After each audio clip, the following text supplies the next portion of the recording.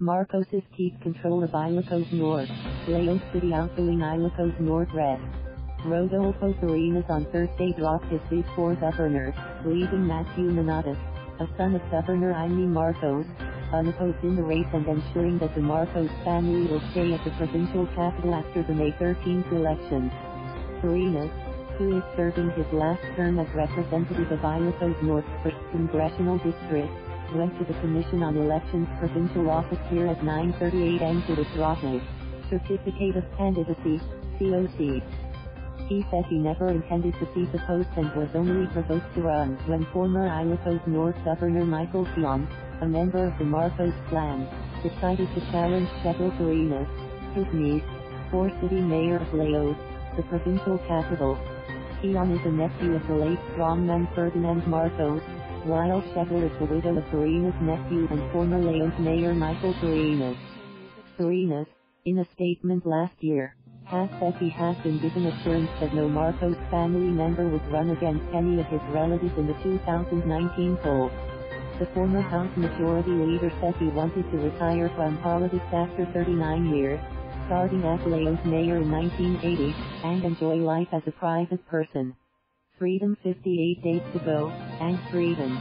He said in a Viber message sent to House reporters. From day one of the campaign until today, having covered 272 of my district's 285 barangays, I've been announcing in my speeches that I was not running for governor, he added. Asked what he meant by freedom when his term ends on June 30th, Fariñas said it was about being able to do nothing and absolute quality time for himself his children and grandchildren.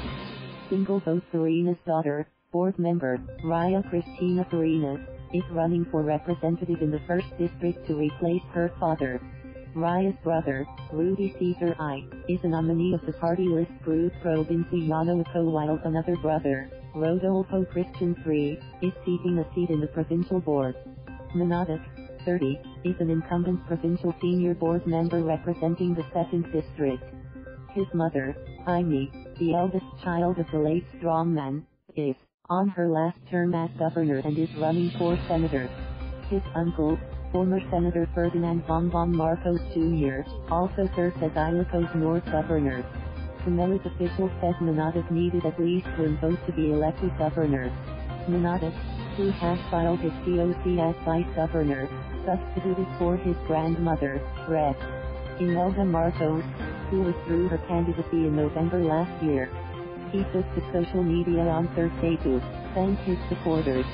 Let us join hands for a progressive and livable Ilocos Norte, he posted on Facebook.